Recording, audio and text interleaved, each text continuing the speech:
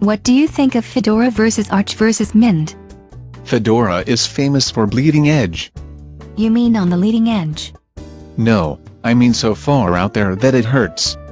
I know Fedora is always innovative. Which means everyone installing the latest version is a beta tester and there's no online support for the bugs they get that no one else has come close to creating.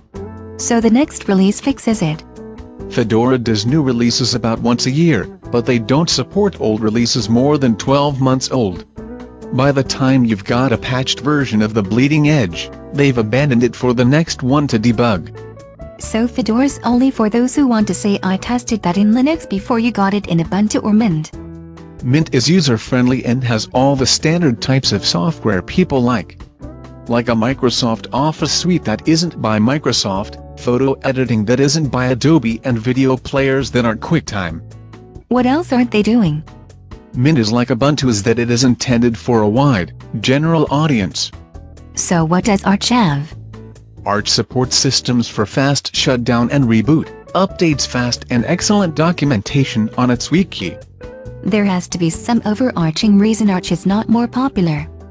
Arch is a pain to update, because it saves new configuration files with a special extension. You have to merge configurations if you don't want to essentially wipe the old OS and install the new one. Some people don't mind that. Or they'll just do the whole upgrade.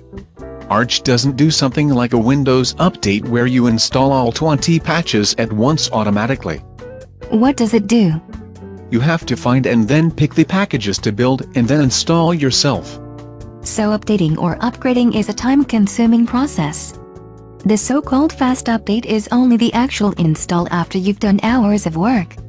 That's why Arch Linux is more like fallen arches, a painful condition some people just live with.